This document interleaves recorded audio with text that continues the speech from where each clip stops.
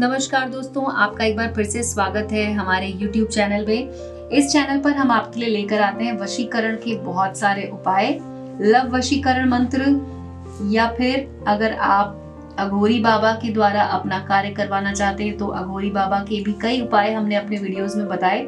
आज हम आपके लिए लेकर आए एक ऐसा उपाय जिससे आप अपनी किसी भी समस्या का समाधान तुरंत कर पाएँगे। जी हाँ दोस्तों, अगर आप हर तरफ़ से निराश हो चुके हैं, हताश हो चुके हैं तो एक बार इस वीडियो को ज़रूर देखें। इस वीडियो को देखने के बाद इसमें जो उपाय दिया गया है, वो करने से आपकी समस्याएँ खत्म हो जाएँगी।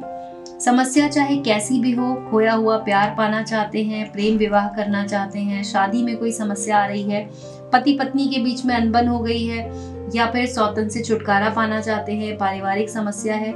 खिलाया पिलाया लग रहा है आपको किसी ने, यानी कि जादू टोना किसी ने कर दिया है, या फिर आपको अगर ऐसा लगता है कि आपकी सब समस्याओं की जो जड़ है, वो है एक कि आपका प्यार आपसे दूर चला गया है। तो आप इस उपाय को कीजिए। इस उपाय के द्वारा आपका जो आपकी प्रॉब्लम है, उसका समाधान हो जाएगा।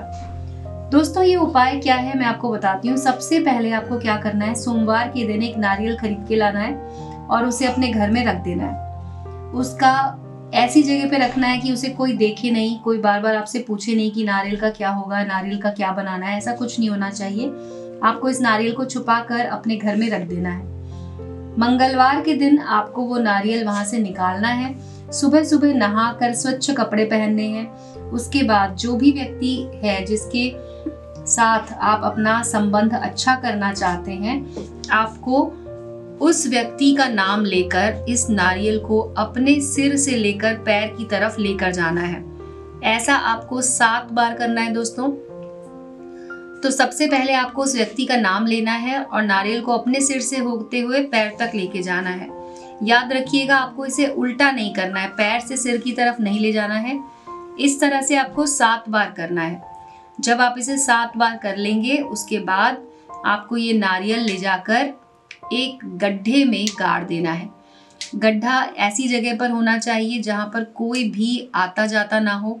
सुनसान जगह हो, लेकिन एक बात का ध्यान रखिएगा कि वो जगह गंदी नहीं होनी चाहिए। मतलब वहाँ पे कचरा या फिर गंदा पानी, ऐसी कोई जगह नहीं होनी चाहिए। साफ़ सुथरी जगह पर जाके आपको ये नारियल वहाँ पर गड्ढा खोद के डाल देना है। जब आप वापस आएँगे दोस्तों, उससे पहले ही आपके पास उस व्यक्ति का कॉल आ जाएगा।